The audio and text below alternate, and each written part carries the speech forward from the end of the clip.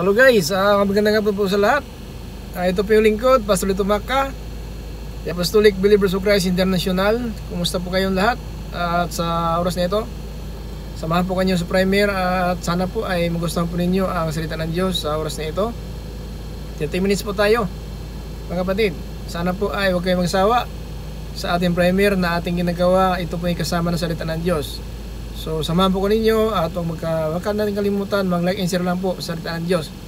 Sapagkat mahalaga po ang salita ng Diyos na ating mapakinggan ngayon at magbigyan ng aral po sa atin paano po tayo na maging matatag sa ating pananampalataya.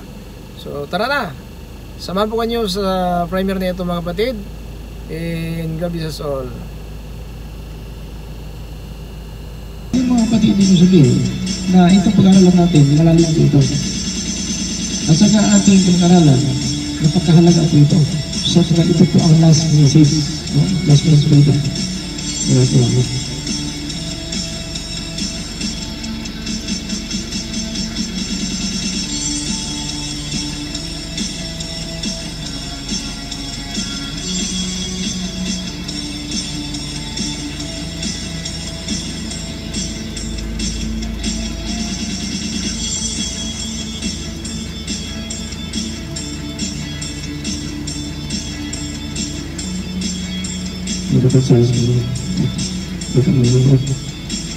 Oh, so ito pag-aralan natin. Tanda po natin mga kapatid, napakalaga po ito ating pag-aralan. Now, ang sinabi dito mga kapatid, sa Revelation, chapter 15, verse 1, na nakita niya po sa Juan, ang pito, pito kaanghel, nagdala ng pito katutungot. Umoni ang katapusan.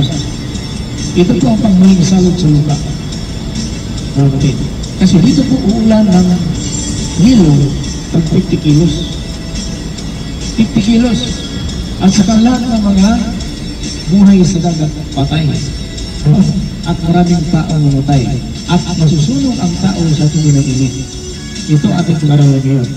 Now, dito mga kapatid, tandaan po natin, siya po sumuwa, dinala po siya sa langit. Na sinabi ng si Pablo, dito po sa in 2 Corinthians, in chapter in chapter 12, chapter 2, in verse 1 up to 3. Ito ang sinabi sa Pablo. Hallelujah.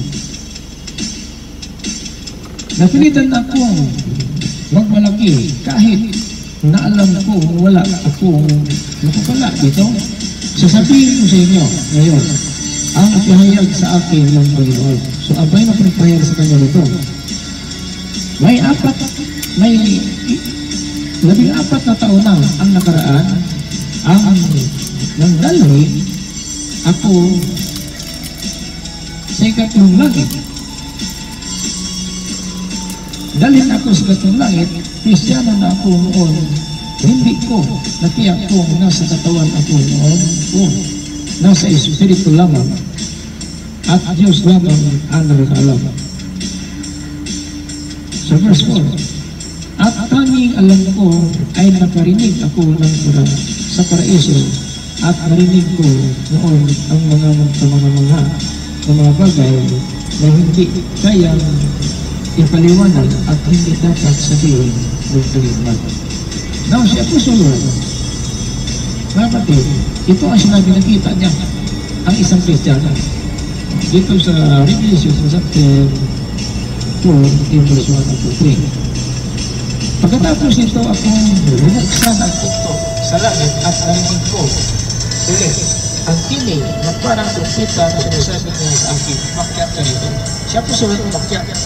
Siya po sulat Pablo, subukan ng Espiritu, ay nakita niya nakita niya ang isang lalaki na Kristiyano. Mga kapatid, nakita niya isang lalaki na Kristiyano na apat, labing apat na taon na makalipas. Ito po si Apostoluan. Si Apostoluan, ito mga kapatid, ang dinala na nakita ni Apostol Pablo sa bulitan ng kanyang pangitain na may isang lalaki na tinatawag Kristiyano kay, Kristo. Nito po ay dinala po sa pangatlong langit. Ito mga kapatid, ah, sinabi po ni Apostol Pablo. Mga tandaan po natin. na ito po ay nakita niya isang lalaking Kristiyano na dinala sa katong langit. Mga kapatid.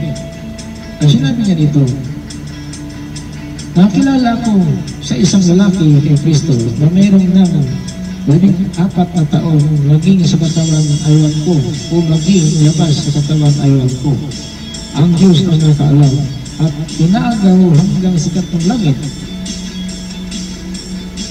at nakilala ko ang taong yan, maging sa katawan o sa labas ng katawan, ayan ko, Diyos na nakaalam.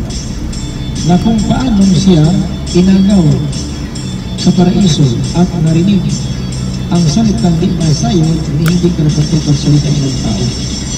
Ito mga kapatid, ah, sinabi ni Apostol Pablo, may isang Christian nakita siya na dinala ng langit. Ito, ito siya Apostol Kaya itong sumulat siya Apostol Juan ng Revelation upang malalaman natin ang mga pangyari ang nangyayari pa ayon po sa Bawang Aklat.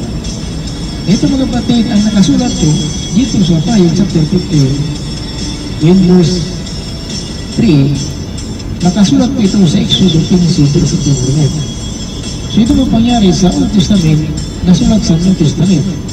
So nakita niya isang lalaki ito mga sa verse, sa verse 3 na ito mga kapatid nakasulat ito sa Exodus chapter 15 in verse 1. In chapter 4, nasulat ko sa Jeremias kung Jeremiah chapter 20 verse 7. So ito mga kapatid, uh, nakasulat ito sa Salmo 86 9. Kung ubusin natin ito, hindi po natin ito na ano ko sa atin. Isisin natin ito. Now, siya po suluran, dinala po sa langit. Mga kapatid, dinala sa langit at nakapasok siya doon. Hallelujah. Nakapasok siya doon sa ruta ng Espiritu. At ito mga kapatid, ang sinabi ni Apostol Pablo, na nakita siya isang Kristiyano na apat, labing apat na taon ang nakaraan at dinala sa langit. Ito po si Apostol Juan. Ang sabi ni Apostol Juan, dito sa Tayo sa 4, verse 1 at 4. Pagkatapos sa mga bagay na ito, at tumingin ako, at narito, ang isang pitong bukas na pitong bukas na langit at ang unang tinig sa akin, narinig gaya ng isang patakat at nagkiusap sa akin ay sa isang nagsasabi, umakyat ka rito at ipakita ko sa iyo ang mga bagay na dapat mangyari at sa amin. So sa luwan, pinapasok doon sa langit sa kita ng Espiritu. Yung sa verse, sa verse 4. Pagdakay nasa sa Espiritu ako, ang sabi ni Apostol Pablo, hindi ko alam kung sa Espiritu siya o kasama ang kanyang katawan. Ang sabi sa Apostol Juan, nasa Espiritu ako. So ang sabi sa Pablo, hindi ko alam kung sa Espiritu siya o kasama ang katawan. Basta isang pangitain, ang pinapahig ng Panginoon sa kanya, isang Kristiyano, labing apat na taon nakaraan, naglalak po sa talat ng langit. At, at doon, alam sa labas pa ng paraiso o sa loob ng paraiso. Kung siya po sila nagsasabi ito, at pinapasok siya bukas ang pinto ng langit. Pag pagpasok niya doon, pinakita sa kanya ang lahat ng nangyari at nangyari na. At ito sa Revelation na kasulat dito. Ito sa Revelation. Kaya mga kapatid, ito pinag-aralan po natin, dito tayong magbukas no, sa Revelation sapagkat sa last message po ito ng Panginoon. Ito po ang panghuli na mensahe ng Panginoon sa atin upang ngayon uh, kaalam na tayo sa ating kalagayan kung ano, saan na tayo ngayon panglimang tatak tayo ngayon. Napatuloy tayo.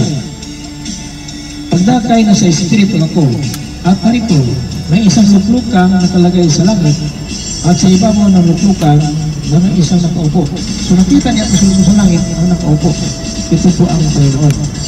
Nakaupo. At ang nakaupo tulad ng isang batong haspi at isang sardiyo at naging naglililig ng isang raghari. So, nabangaw, paghari po sa kanya, yunan. Tulad ng isang esmeralda. Sa verse 4. At sa palibot ng luklukan, at may dalawang apat na luklukan, at nakaluk at ang mga luklukan nakita kung nakaupo ang labing dalawang dalawang apat na matanda na dalawang ng maputing damit at sa kanila ng mga ulo na may putong na ginto. So itong dalawang apat, ito po ang lahi ni Israel kasama ng mga apostol. Sila ang mga doon. Sapagkat ang Biblia nagsasabi sa Revelation 18.20, Nagala kaulangit, mga banal, mga apostol, mga propeta. So, nandun na po sa langit sila. So, nakita ng apostolan na pinapakyat siya, paglipas ng labing apat na taon na naging apostol ng apostol Pablo, ito po ang nakita ni apostol. Meaning to say, ang si apostol sa Pablo, labing apat na taon na ngayon na nakalipas. Po siya naging apostoles, hindi pa siya nakakita ng pangitain. Now, nang ang sabi niya, labing apat na taon na nakalipas, nakita ko ang isang tao dinala sa pangatlong langit. Hindi ko na alam kung kasama ang espiritu o katawan lang. Kung sa labas pa siya ng paraiso o sa loob ng paraiso. Pero sa pusulwan, nakapasok talaga siya. At doon pinapakita ng Panginoon kung ano ang nangyari pa at mangyayari. Nangyayari ka at mangyayari pa. Na ito mga batid ating pinag-aralan ngayon dito po sa Revelation. Now, maliwanag sa pusulwan, nakapasok doon at nakita niya ang 24 na lahi ni Israel. Doon sa kapag nakaupo at nakaalin po sa trono ng Diyos. Kaya special po sila. Kaya dinala po ito, nakasulat ito sa Episyo 4, versikulo 9 at 11. Na pag akit niya sa langit, dala niya ang mga bilang. Ito po ang mga banal, mga propita at mga ngayon, mga apostol ngayon na nam- namatay na po. Doon ang destination nila. Eh, tayo din ngayon, pag namatay po tayo kay Kristo, doon pa rin ang destination natin. Hindi po tayo doon sa tayo mapatay. Sa so, kasi di mapatay, may paraiso na doon. Pero mahuli pa po. Kahit may paraiso sa tayo mapatay, yung nalagay ng kriminal at yung Lazaro, pero hindi pa sila makasama sa pagparito ng Panginoon ngayon. Sapagkat special po ito. Itong rapture. Ito, anak mga kasama ito, nakaisa ng kanyang kamatayan. O si Lazaro, hindi po siya nabautismuhan ng Jesus. No? Kahit ako, kahit ako yung criminal, hindi ko siya nabautismo ng dugo. Promise lang ang napakinggan niya ngayon. Ikakasama ko sa presos. Pero tayong bautismado ngayon sa dugo ni Jesus, tayo ang maghuntay ng kanyang pagparito. Sapagkat ang 1 Thessalonians in chapter 2, verse 16, na sa huling tinig ng propeta ng Diyos, pakakat ng Diyos, ang pitong propeta, mabuhay na ang namatay. Now, hindi nakasama si Lazaro sa bautismo sa pangalan ng Jesus. Pag hindi ka nakasama sa bautismo ng Jesus, doon ka sa latol. Doon ka sa araw ng muling pagkabuhay sa lahat ng nasa kulungan ngayon sa ilalim ng lupa. Yun po ang bensyon ng Biblia. Now, sa lupa, hanggang mga kapatid, ang itawag na impyerno, ang impyerno ngayon sa lupa, hindi pa, wala pang laman doon ng tao. Ang anghel lang ang nakakulong doon na mga nagkipaglaban kay Miguel ay po sa Revelation chapter 12, verse 10. So natambok siya doon sa lupa, lalim, at ang diablo ngayon ay malaya. Pero yung mga anghel na nakakulong ngayon ay po sa 2 Peter chapter 2, verse 10. Nakakulong ngayon ang mga anghel sa impyerno. Pero hindi pa sila mga batid yung matulad. Nakakulong lang. Tulad na nakakulong ngayon sa lupa, nanghintay sila ng rapor. Pag iharap nila si Judge, kung makapalaya sila, makatuwi ang si Dija, ganun ang mga anghel ngayon, maghintay sa araw ng tulapol. Now, Siyempre pa mga kapatid, may kulungan din eh.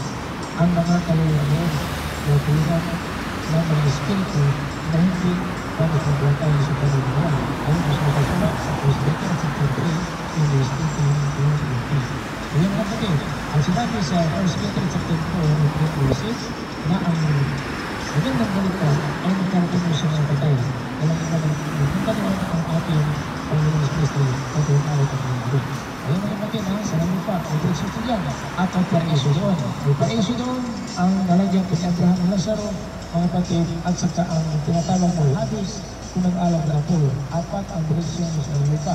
Ngayon, kung umasa ka sa iyong kabutihan, umasa ka ng iyong gawa na sabihin mo, karapat-dapat sa Panginoon, may paraiso sa langit pa. Meron para sa kaluluwa. Pero ang paraiso sila sa langit, kasama na po yan ang ating katawan. Now, mamatay tayo, mga kapatid, mamatay tayo ngayon, maglipod sa Panginoon, So guys, tama ah, ang ano, sinabi ni Apostol Juan. Yung po, ah, 48, verse electric 15. power, Napala sa na taas ng namatay ilog. ngayon ng sa Panginoon. Ito na puti. magpala sa Pires Espiritu. Ang Sa pagkang pagkapahinga na sila sa kinapagpagal at ang mga sasapay sa. Dynamo. Ibig sabihin, anong ginawa po dito sa lipa hanggang sa pag-alis natin, mga dynamo. Sa Nakita na po sila nag-albahan at ang pagkakapan. Ang walang apat na lahat ng Layo po yan, doon po sa bundok Magmula na kang Osaka. ako hanggang sa mga apostol. At yan mga kapatid, kitang-kita ko sa iyo ang dalawang pagpapat na pinili doon sa power At ito, dynamo. Dynamic mga kapatid. At supply. naman, ano may ikaw, Siya po ang nag-supply ng kurente. sigurado ang bukod nakikot mga kapatid, dynamo po yan. Kasi yung bundok na yan, hindi maabot yan na ang. Panginoon, Kaya, yung palagay nila, supply po yan na ilaw dyan po sa bundok na yan. and receive your mercy. Magpuri ka, wala mo si Jesus. Ay, wala kang Kita apostles. mo yan mga kapatid. Ano ba sila? Pasalsa tayo sa Panginoon. Sapagkat, kung nagpatuloy tayo sa mga araw ng apostles, kung ano pag-asa nila, ang kaasa nila. Ito sa baba, bahay. Saan sa tabi ng kapatid is the sita Bisilinga? Ito mga kapatid, ang mga bahay mga kapatid. Sikat Bisilinga in September in Busigi. Nasa kanyang pagparito, may kasama ako at kasama ng kanyang mga anghel. Okay? Ang anghel. Kasi sa kanyang pagparito. Saktikit lang po tayo saka, sa primer natin mga kapatid ha. May parusa sa mga tao hindi nagkilala sa ating Panginoon at hindi nagsikalipan ng ibang buhay ang lugar ng Taki, Ken, Matusaka, Japan. Ligtas na, may parusa. So, bahay ang dyan. talaga mga kapatid, sana, hindi ka parusa. Hallelujah. Saan ka parusa natin napuntahan? Sapagkat kung parusahan tayo, ano pa, ano pa, ano pala natin yan? Impirno ko yan. Now, harapan tayo sa hukuman, pulang parusa, yung para sa parusa, yan. Kung sa hukuman, harap tayo. Mabuti at yasama, harap tayo.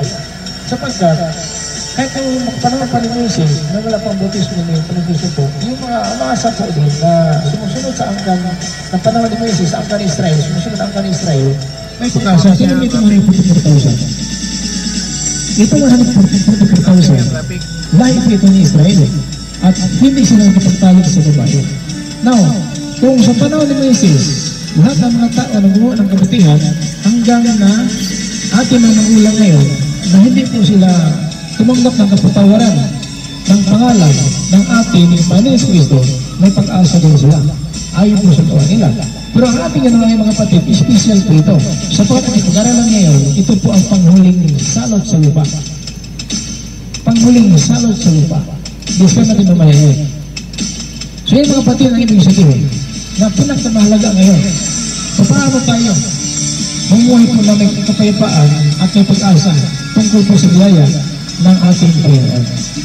Ito po'y biyaya sapagkat itong kaligtasan natin, hindi po sa ating sariling gawa ito. Ito po ayon po sa biyaya ng Diyos. Ayon po sa Ephesians and sa 13 verse 8 to 9. Hindi po ito sa ating sariling gawa ang ating kaligtasan. Ito ay bigay ng Yan Grace. po mga ah, dynamo, electric supply. Grace ito at habag. Oh, habag, mercy. Sa Ito po ang kaligtasan natin. Kung bakit nakapag-live tayo ngayon, hindi naman kaya ito natin sariling gawa. Mga kapatid, ang ating paggawa ngayon, hindi po ito ating kaluluban. Gawa tayo dito ngayon sa pag-live natin, hindi po sinasabi na nag-live ako higpis ako.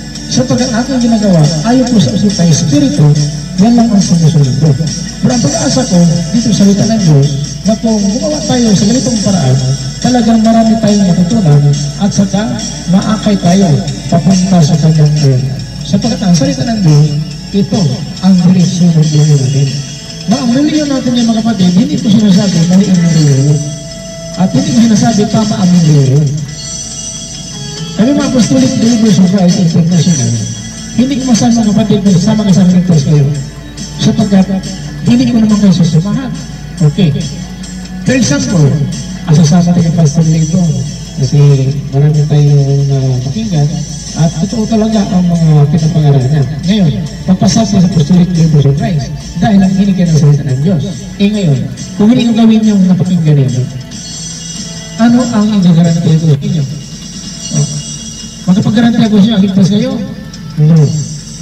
Hindi ko magarantiya sa inyo kaligtasan dahil sa apostolic believers of Christ. Pero ang aral ng Diyos, ito ang pag-asa natin. Ito ang ating pinapangaral, paano tayo magkakaisa sa pag-asa na ito. Now, ito ang ating ginagawa. Ito ang bunga ng ating pananampalataya. Mga kapatid, ito ang bunga ng ating pananampalataya. Para malaman natin in 2 Thessalonians chapter 1 verse 11 na itong gawa natin bakit muwa tayo dito mga kapatid ito pala ang bunga ng ating pananampalataya. Ang ibig sabihin, dahil may pananampalataya po tayo, gumawa tayo ng live streaming ngayon sapagkat ang pag-asa na ito, hindi lang sa ating sarili, hindi lang sa ating pamilya, kundi para sa lahat ng nais na kaligtasan. Kaya hindi mga kapatid ginawa ito para sabihin niyo ka, marunong si Kristo. Sapagkat maganda talaga ang salita ng Diyos. Hindi ako ang nagsalita mga kapatid. Kung ano sinasabi ko, yun lang po gusto ng Espiritu Santo. Hindi ko masasabi sa inyo na ako mag-promise sa inyo, naligtas kayo kasama kayo sa akin. Hindi, sapagkat ang iyong gawa, ang hapon natin, ang sarili natin gawa. Kahit kung paulit-ulit tayo nag-live ngayon, pero kung ang salita ng Diyos, hindi po ninyo masisagawa ito, walang problema. Ang sabi ng Panginoon, in Lucas chapter 6 in verse 46, bakit pa kayo tumawag sa akin, Panginoon, Panginoon, hindi naman kayo tumutupad na ako nilutos. Maraming tumatawag sa Panginoon. Maraming nakikilala sa Panginoon. Di ba? Di ba kung tanong tayo, brother, sister, sumampalataya ka ba sa Panginoon? Yes, sister. O di ba? Siguro, ganyan talaga. Yes, pastor. Pero mga kapatid, ang ating pamumuhay, kumusta? Yan. Yan ang ibig sabihin. Bakit tayo nakapagbuhay? Sapagkat kitang-kita ng Diyos kung ano ang ating pamumuhay. Kitang-kita ng Diyos kung ano ang ugali natin. Kaya sabihin natin, alam ko na may Diyos.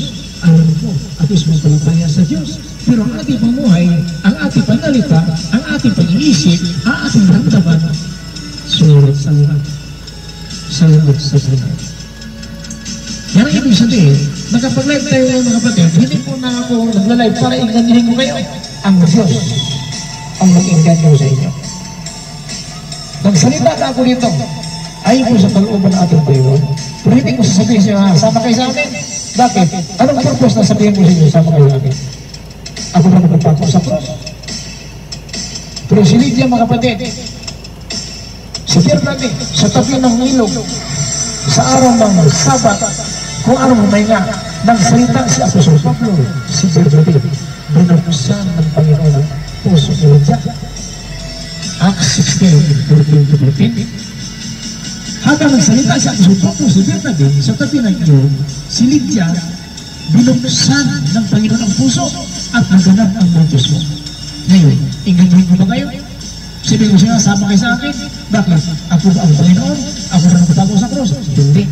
Pero ang sabi ni Apostol Pablo, si Lydia, binuksan ang kanyang puso at tinanggap ang salita ng Diyos at naganap ang bautismo sa araw na yun. Kaya, ang ginawa ko mga kapatid, nag-live ako dito sa Jumsali, sa Facebook, hindi ko pinagmalaki Bakit ako naging pastor ako ngayon sa pagkakarunong ako? No. Ang ginawa ko mga kapatid, anong udyok na Espiritu Santo, ginawa ko lang ito. Sa pinagsugo na ako ng Diyos, hindi po ako nagawa dito para sa bigyan ako ng pira o pangaral ako nyo. Huwag. Kung parangal man tayo sa Diyos lang, yan sa tao. Kung nagpurihin man tayo, huwag ang tao. Diyos lang nagpurihin. Yan ang pinakamalaga. Hindi masaya ang panahon natin. Introduction pala ito. Malayo pa atin ang mga tayo. Ang ibig sabihin ng malalaka, kinakailangan ang pagsaliksik ng kasulatan. Hindi ka nakasama ka sa reliyon, nakasama ka sa samahan, yung pinapukusan mo na lang yung Bibles. Yung karunungan ni pastor, yung karunungan ni brother and sister, yun na lang ipang-pangaral natin. Hindi po. Dapat saliksikin ang kasulatan, basahin. Walang nakulangan ng kanyang kasama. Isaiah 34.16 Basahin, saliksikin. Walang nakulangan ng kanyang kasama. Yan ang malaga mga kapatid. Hallelujah. Isaiah Isaiah is chapter 34, verse 16. Pakinggan natin si Isaiah. Ito po sinasabi. Huwag tayong kumpiyansa sapagkat ang panahon natin yan, magipit na. Magipit na, marami pa ang mga, mga tao na nagligaw ng ating pananampalataya. Isaiah 34.16, pakinggan natin. Ito ang sinabi ni Propeta Isaiah. Seek ye out of the book of the Lord and read. No one that this shall feel, none shall one hear me. For my mouth it hath commanded, and his spirit it hath gathered faith. Oh. Kaya lang mga kapatid, saliksikin mo sa akin. Wala bang, wala bang isa na kulangan? Ang problema ngayon, kasi marunong kaya, mayroon tayo mga makita talaga sa karunungan ng pastor o sa kanilang mga sabihin natin, iba-ibang paraan para ang mga tao lang sasama sa kanila. Pero kung magbasa tayo ng Biblia, hindi po tayo malinaw. Kung hanggang ngayon, alipin ka lang ng relihiyon, sumunod ka lang ng doktrina tradisyon, hindi ka nagbasa ng Biblia, sigurado ang Biblia ang nasasabi, saliksikin at basahin. Eh ngayon, sino ba sa dito sa pastor lang? Eh bakit? Dapat na pastor sa Panginoon? Dapat alam natin ito. Napakalaga mga kapatid na itong ating gagawin sa bawat araw, itong oras natin ngayon, mahalaga po ito sa harapan ng Diyos. Sapagkat ang sabi ng Panginoon sa John 12.35, habang nasa itong liwanag, lumakad na kayo. Baka mabuta ka ng dilim, sapagkat ang lumalakad sa dilim, hindi niya mapuntahan ang kanyang paruulan sapagkat binulag siya ng kadiliman. Ano ba dilim yan? Yan ang kamatayan. Pikit ng mata mo, ano nakita mo? Tuwing, yan ibig sabihin ng Panginoon. Habang nasa paliwanag, lumakad na kayo. Habang buhay pa tayo, gawin na po natin ang nais natin. Ano bang nais natin? Kaligtasan ba? Yes. Kaligtasan talaga. Yung mga kapatid, nagbasa ba tayo Biblia? Oh. Nagbasa ba tayo? O ba kasi pasulat na kayo, di linggo lang, pumunta ka na linggo lang doon sa Pastor Hallelujah. Pag uwi, pagbalik mo sa bahay, wala kang naalala. Hindi mo alam ang ibig sabihin ng sabi ni Pastor o Father. Hindi mo alam paano ba ang explanation. Bakit? Marami na sasamba, pero ang puso nasa labas. No. Ano ang sabi ng Panginoon sa Marcos City, versikulo 6? Tama ang pagkahula ni Isaiah sa mga taong ito. Pinupuri ako ng kailang bibig, malayo sa akin ang puso. Praise the Lord, hallelujah. Praise the Lord, hallelujah. Pero ang puso nila nasa labas pala. Di ba? Di ba marami ng simba? Oh, nakatingin sa rilo. Ang tagal ng gusto. Gutom na gutom na ako. Nakinig nga, pero ang kailang isip nasa labas. May birthday doon, may daan doon, may pista doon. Kaya ang sabi ni Pastor, ni Father, hindi nila naunawaan. Sapagkat nagsimpa na nga, ang sabi ng Panginoon, tama ang pagkahula ni Propeta Isaiah sa mga bayan ito, sa mga taong ito. Ipinupuri ako nila sa kalang bibig, pero malayo sa akin ang kalang puso. Bakit? Nasa simbahan na nga, tulog-tulog pa. Oh. Tulog-tulog, may trusian, labas na naman doon. Paano tayo matuto? Ngayon, sinisisi si pastor, si father, sinisisi niya, si pastor kasi, si father kasi, gano'n kasi, kasi yun ang dahilan. Magsimba nga tayo, pero yung ating puso nasa tao. Dapat magsimba tayo sa Diyos. Dapat nakakunik ang puso natin sa langit, sa pag nagsimba tayo, sa bawat araw, nakakunik ang ating puso sa Panginoon. Na ibig sabihin, anong oras, physical, ginotoman, kailangan ang salita ng Diyos palagi na sa isip natin. Ang sabi ng Panginoong Josue, ang salita, ang patusan na ito, huwag mong hiwalay sa bibig. Ngayon, pag natrabaho ka, hindi mo bukas ang bibig. Kung may nakasalungon ka, nabukas ang bibig. Pero sana, alam mo ng bibig natin, salita ng Diyos. Huwag mong ihiwalay sa bibig. Ang ibig sabihin, bawat oras, sikas, minuto, pag bumukas ang ating bibig, dapat ito'y kaaya-aya. May pamalasang asin. Hindi nakakasira sa ating kapwa. Marami nagmamarunong. Pero sila ang dahilan. Natitisod ang kapwa mananampalataya. Natitisod ang kapwa pastor. kapwa Kristiyano. Ang dahilan. Si Kristo Kristo. Kapag nagwala sila, samsambahan ka agad ang sinasabi. Oh, kasi nagpastor, ganun ang kailangan kaya sa tumbagi, hindi mawala. Bakit nasa tumbagi? Kung naligtas na yun sa tumbagi, kabahagi yan ang utos. Hindi naligtas na sa tumbagi. Kaya, huwag ka magtuko sa tumbagi kasi ang tao may puso niya, magbigay siya magbigay. Kasi sabi mo yun, subukin ako nyo ngayon. Di ba maraming pastor ngayon, yung pong dahilan na mga mga membro hindi na pumusang sa sapagat, pag magsama sila, at tinatarget nila yung tira. Marami ako na nag-target.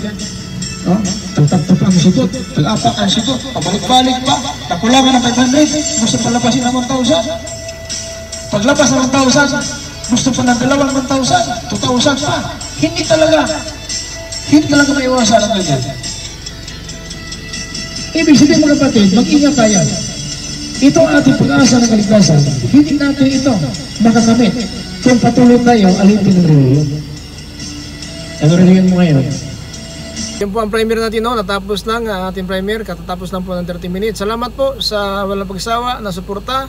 Salamat po sa inyong pagsabay at pagsama sa akin sa primer na ito. At sana po ang salita ng Diyos, huwag niyong kalimutan sa bawat araw. Sana po ay meron tayong natutunan ang pamumuhay po na may pag-asa tungkol po sa kaligtasan at pagpalain po kayo ng Panginoon sa inyong pamumuhay sa bawat araw, ano man inyong kahilingan. Sana po ibigay ng Panginoon ang mga kapangailangan natin sa bawat araw at sana po ang salita ng Diyos natin na pakinggan ngayon ay itanim ng Panginoon sa bawat puso't isipan natin upang gabay natin sa bawat araw patuloy tayo sa pag-asa tungkol po ng kaligtasan.